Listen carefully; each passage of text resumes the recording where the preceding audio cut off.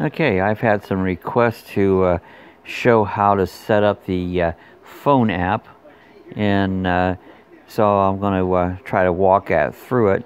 When you come to the main screen and you see this where it says configure, you click on the configure, and I already have this set up on mine. So I'm, what I'm going to do is originally you want to add a device, so you hit the add, and you can import the device, and by doing that, you can set this screen up there should be a uh, thing on your um, recorder that you can scan this and then you'll be able to import it right in. Um, that's one way to to uh, to doing it. Um, I didn't go through that whole process there because I'm actually recording off of this phone. So uh, another way to do it is manual adding. When you do this, there is actually a code there where you can add that, but you have to uh, set it up. You can set it up for your IP domain, and you have to go to your box and find out what that is. Everyone's different. You put the IP address. It could be something like 192.0, but you have to get that from your machine. And there's another place that tells you uh, your media port. I think most of them will probably be 9,000. Um, then you put your username, whatever that may be. Yours will be different than mine. You, you write that name in there. At the bottom, you put your password in.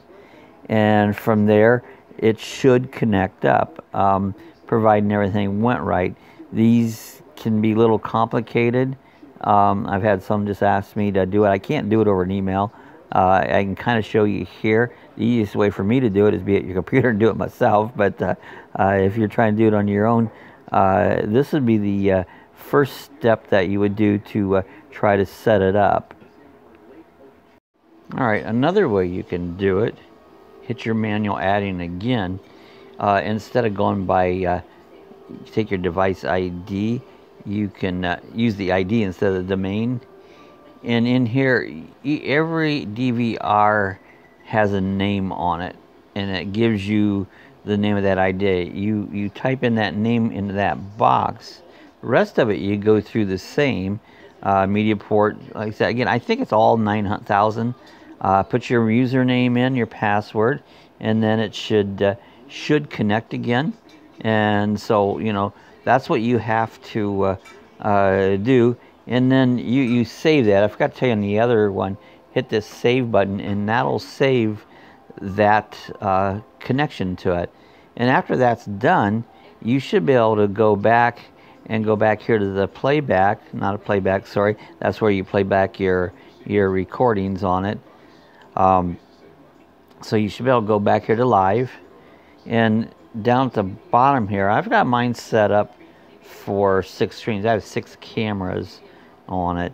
And uh, when it's blank, you'll see a plus sign you, you click on that and you hit this and drag that to each box. Uh, like channel 1, uh, if you see I have my channel 1 up here. I hit this and I pulled it and dragged it and dropped it into the channel 1 box. And then you can populate each camera as you go along. And then of course if you double click on those, this will give you a larger screen of, uh, of your, your system. Double click again, it goes back to your, your box again. But uh, that those pretty much are the two ways in this configuration is how how I've set mine up. Um, I'm not going to go to mine and because I've got it already set up that. Uh, the import device that again is one way to do it. You can scan it there, and that'll uh, uh, you know give you your uh, your code there. Uh, and, and, should mine has it right on the DVR box has that code right on the on the top of it. Um, so you can uh, go, here's mine online devices, one that I already have up. Uh, and that's where that one, but just go to the plus and hit the manual setting there, choose the type, and uh, then that's how you actually set, set it up. Um, I know it's kind of vague and uh, it's kind of difficult for me sometimes because I, I don't do this off top of my memory. I go in each time and figure out how to do it. You know, that's just the way I operate computers. I'm not one to stick it in my mind and, and can tell you step by step by step. Uh, I get into things there and I play around. Don't be afraid of it. It's not gonna. The worst you could do, not click it. You can delete the app, restart it again and start from the beginning on it. So uh, don't be scared of it. You're not really going to mess it up. Uh, but this this is my way of hooking it up. Um, I hope it helps you out some. Um, you know, everybody has different. So if this helps you out at all, uh, give me the thumbs up, and uh, I, I I hope to continue putting these on and hope I'm helpful, and not too vague. I'm not a teacher. I'm just uh, someone out here is trying to help everybody out, get their systems set out.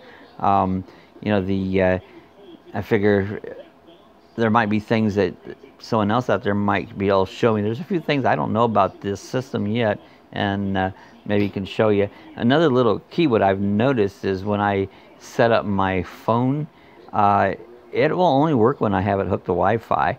Uh, if you go out with your mobile data, I haven't ever got it to work, and so I don't know. Maybe someone has an answer for that. If they do, leave uh, make a video, leave some information on how to set that up because I really haven't figured that one out yet. So again, if you enjoyed this, give me a thumbs up. Uh, um, if you uh, are not a subscriber, uh, uh, hit subscribe to my buttons. And uh, also a little ad pro. I'm a Amazon affiliate, and if you you'll see a link down below there. And if you click on that link, it takes you to Amazon. So if you're going to buy something from Amazon, do me a favor. just click on that link take it to it. it won't cost you a penny but by doing that amazon gives me a little little kickback there from things you purchase there and just helps me grow my channel keeps things going in that though so all right hope i helped you out and uh, uh, we'll see you in the next video